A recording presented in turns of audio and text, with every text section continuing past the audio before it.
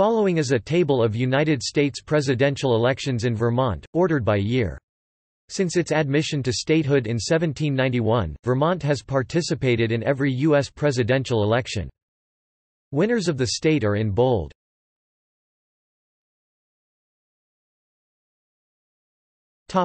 Elections from 1864 to present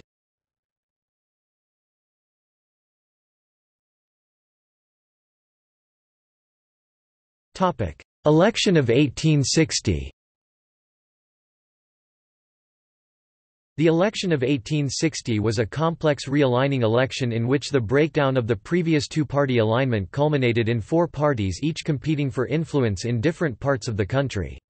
The result of the election, with the victory of an ardent opponent of slavery, spurred the secession of 11 states and brought about the American Civil War.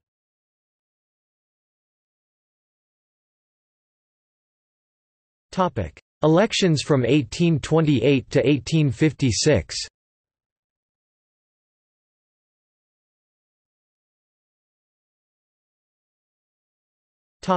Election of 1824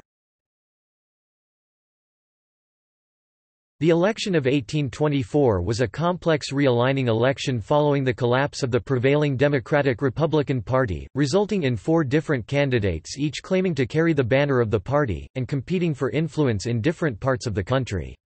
The election was the only one in history to be decided by the House of Representatives under the provisions of the Twelfth Amendment to the United States Constitution after no candidate secured a majority of the electoral vote. It was also the only presidential election in which the candidate who received a plurality of electoral votes Andrew Jackson did not become president, a source of great bitterness for Jackson and his supporters, who proclaimed the election of Adams a corrupt bargain.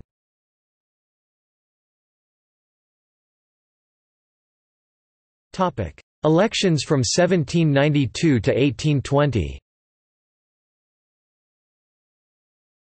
In the election of 1820, incumbent President James Monroe ran effectively unopposed, winning all eight of Vermont's electoral votes, and all electoral votes nationwide except one vote in New Hampshire. To the extent that a popular vote was held, it was primarily directed to filling the office of vice president.